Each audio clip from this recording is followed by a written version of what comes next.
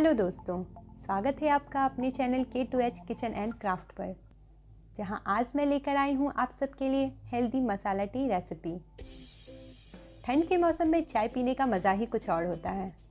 अगर चाय हेल्दी हो तो बात ही कुछ और है। तो चलिए स्टार्ट करते हैं इसे बनाना। सबसे पहले हम इसका मसाला तैयार कर लेते हैं।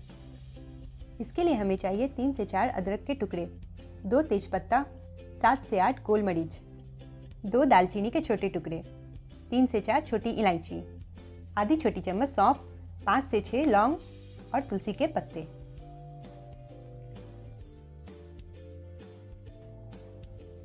पहले हम इन मसालों को कूट लेंगे। मैंने सारे मसालों को जार में डाल दिया है, लेकिन तुलसी के पत्ते को नहीं डाला है। हम इसे डायरेक्ट चाय में ही डालेंगे, मसालों के साथ।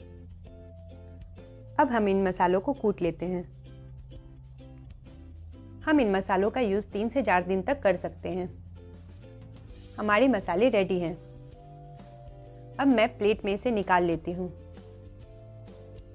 इतने मसालों से हम छः से सात कप चाय आराम से बना सकते हैं। तो चलिए, अब चाय बना लेते हैं।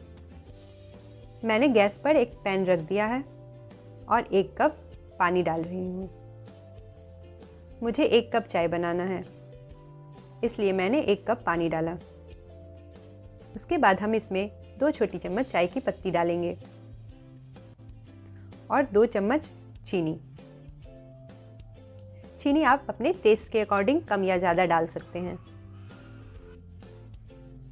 चाय में उबाल आ चुका है। अब हम इसमें आधी चम्मच मसाले डाल देंगे। और साथ में ही तुलसी के पत्ते भी डाल देंगे। तुलसी से चाय में एक अच्छा टेस्ट आ जाएगा। और तुलसी तो हमारे लिए फ़ायदेमंद होती ही है। अब हम इसमें एक कप दूध डालेंगे। और चाय को अच्छे से उबाल आने तक पका लेंगे। चाय को बीच बीच में अच्छे से हिला हिला कर पका लेंगे। इससे चाय का टेस्ट और भी अच्छा आएगा। आप देख सकते हैं, चाय का कलर डार्क हो गया है। अब हम इसे छान लेंगे।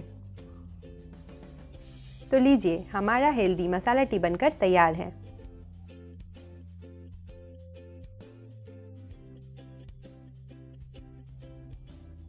उम्मीद करती हूँ कि आपको मेरी ये रेसिपी पसंद आई होगी।